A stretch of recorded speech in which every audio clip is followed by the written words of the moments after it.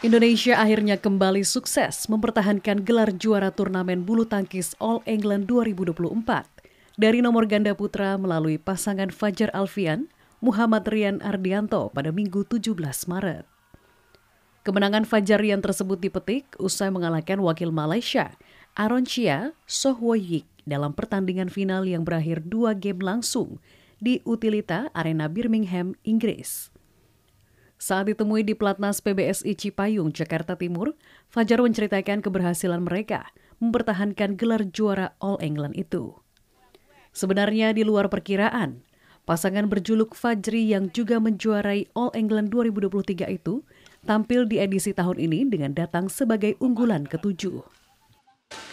Mungkin memang sih dituju, tapi menurut kami kami tidak diunggulkan di All England kali ini karena kami datang sebagai CD 7 jadi kayak apa ya underdog lah gitu. Jadi ya tidak menyangka juga tapi ya step by step kami terus uh, melaju jauh dan akhirnya ya bisa bisa menang.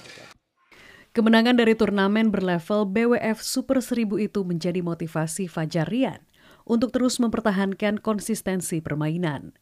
Apalagi mereka juga masih bersaing dengan pebulu tangkis dari berbagai negara untuk mengamankan tiket ke Olimpiade Paris tahun ini.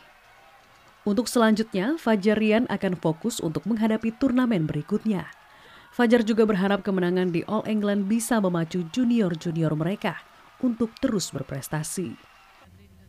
Dari Jakarta, Roy Rosa Bahtiar, Yogi Rahman, Kantor Berita Antara, mewartakan.